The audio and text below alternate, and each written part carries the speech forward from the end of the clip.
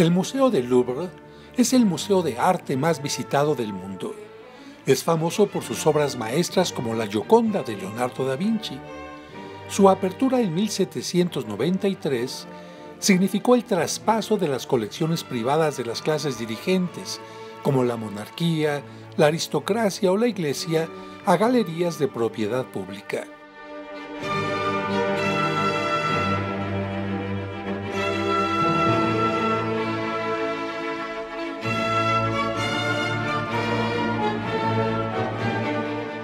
Su colección de esculturas abarca desde Mesopotamia y Egipto hasta el neoclásico, incluyendo obras como el Código Hammurabi, que es una de las leyes más antiguas y tiene escritura cuneiforme,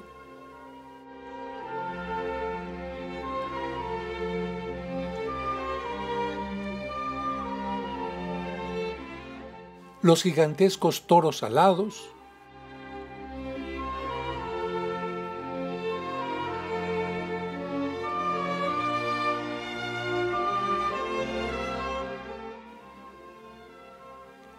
y otros ejemplos maravillosos de Mesopotamia, como estos azulejos,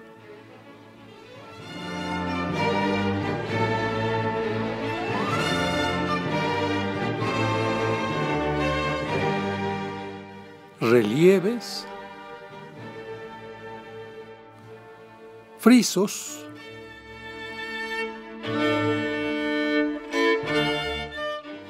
y capiteles de la ciudad de Persépolis, construida hacia el año 500 a.C.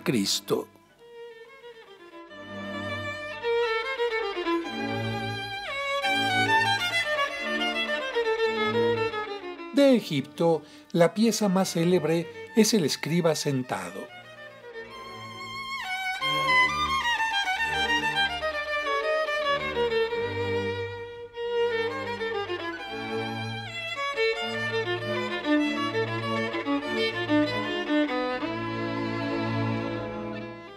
pero quizás el área más visitada es la de las antigüedades griegas y romanas, en la que recibe a los visitantes la llamada Victoria de Samotracia, que representa a la victoria alada descendiendo de los cielos para coronar a los vencedores, y aunque su cabeza y brazos se han perdido, demuestra el grado de perfección al que llegaron los griegos.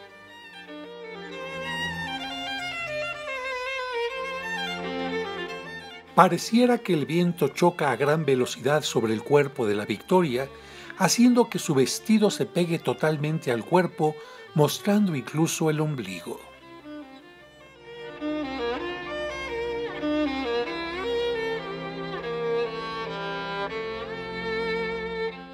Después de ver esta escultura se pueden observar algunos ejemplos de la época arcaica, como la Venus de Auserre, con influencia egipcia, cuyo cuerpo pareciera una columna y sus manos están muy unidas al cuerpo.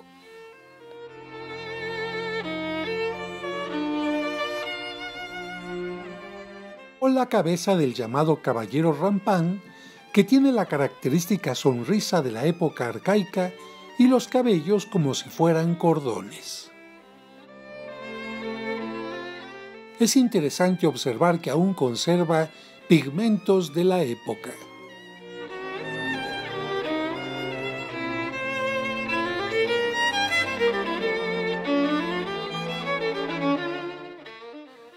Estos cuerpos que muestran los músculos en forma estilizada también pertenecen a la época arcaica.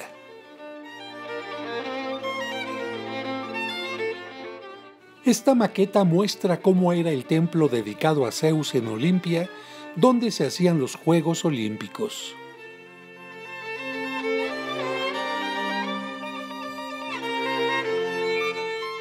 Y es que este museo conserva algunas metopas originales que ornamentaban este templo.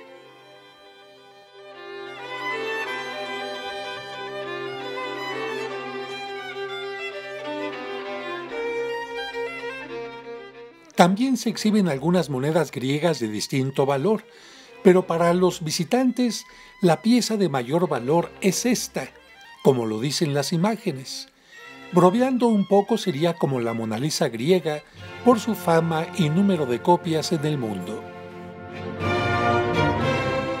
Algunos especialistas dicen que con su mano derecha pudo estar sosteniendo el velo que le cubría y con la mano izquierda un espejo para reflejar su rostro.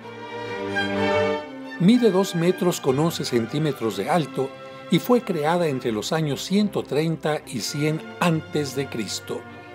Muy probablemente representa a Afrodita, llamada Venus por los romanos, la diosa del amor y la belleza.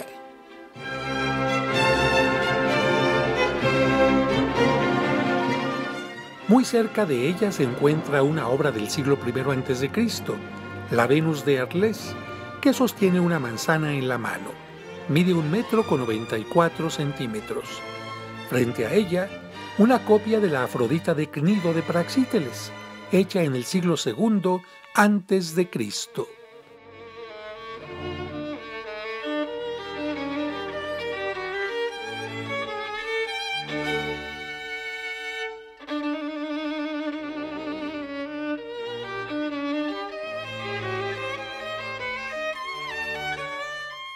Eros tensando el arco es una copia de Lísipo hecha entre los años 370 y 318 a.C. La llamada suplicante Barberini es una copia de un original griego de época clásica del año 420 a.C. Estas alas muestran copias de originales griegos, sean hechas por griegos o en tiempo de los romanos. En las obras que aquí vemos, los escultores siguieron especialmente los cánones de Policleto, Praxíteles y Lísipo, los más importantes de la etapa clásica.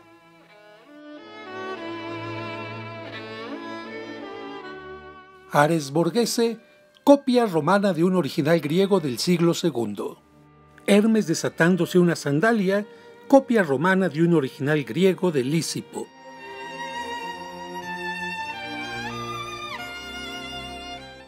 Atenea la pacificadora o llamada también Atenea Matei, escultura romana del siglo II después de Cristo.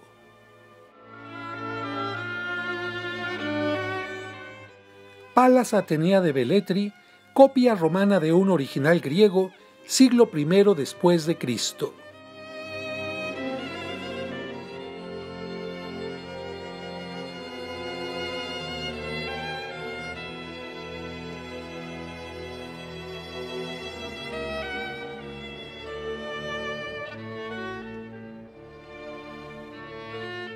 El Apolo de la lagartija de Praxíteles es una copia del siglo I o II antes de Cristo.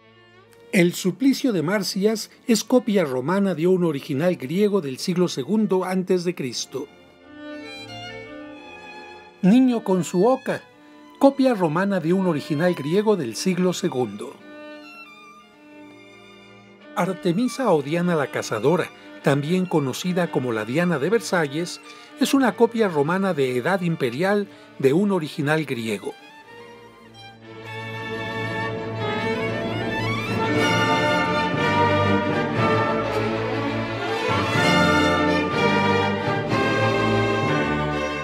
Los romanos siguieron las enseñanzas de los griegos e hicieron muchas copias de su obra, pero también hicieron nuevas resaltando el realismo y naturalismo y no ya el idealismo griego.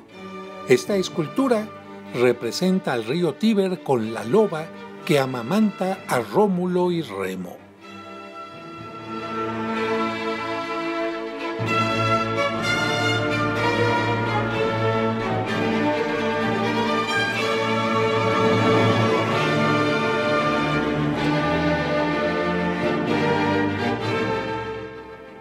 Centauro flechado por el amor, escultura romana del siglo II después de Cristo.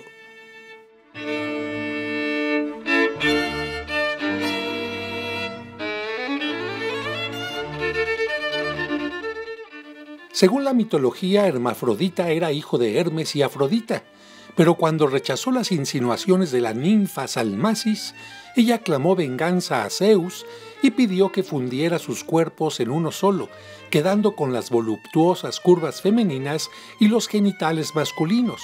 Esto es lo que causa sorpresa a los visitantes. El hermafrodita adormecido pertenece al periodo imperial, es copia de un original griego. Fue descubierto en Roma en 1608 cerca de las termas de Diocleciano. El colchón donde descansa fue encargado a Bernini en el siglo XVII.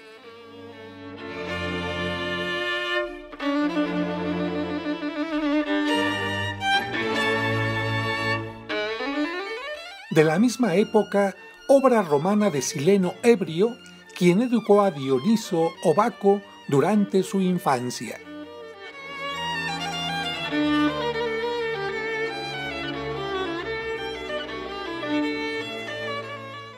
Sileno con Dioniso Niño, copia romana de un original griego del siglo IV a.C. Inicialmente se representó a Sileno como sátiro, con cola de caballo y rasgos animales o toscos, pero posteriormente la cola ya casi fue imperceptible y se le representó salvajemente hermoso.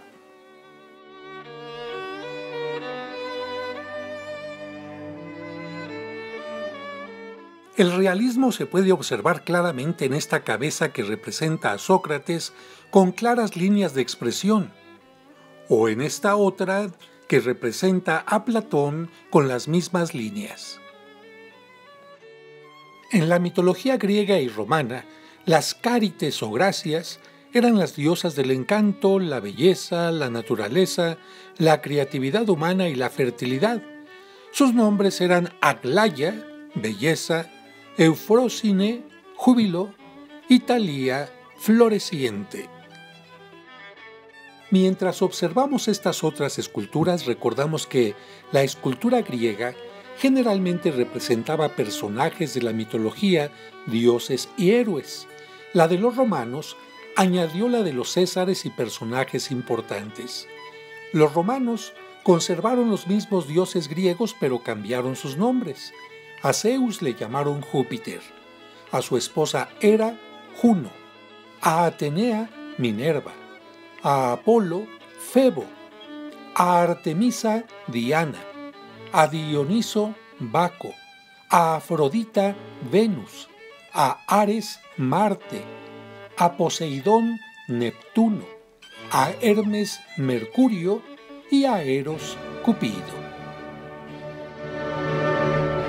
En el siglo II después de Cristo, el emperador Adriano mandó hacer varias esculturas en honor de su amante Antino y lo presentó como dios.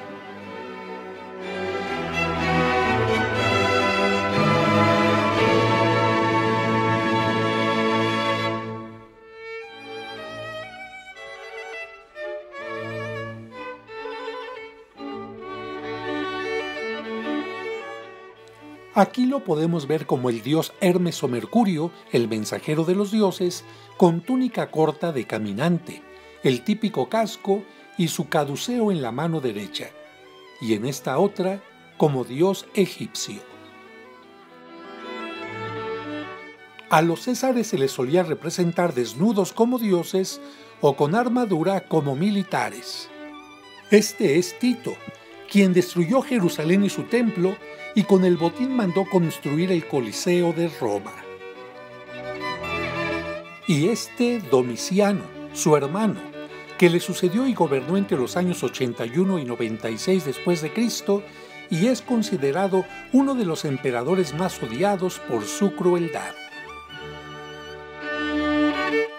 El museo también conserva relieves o esculturas con animales,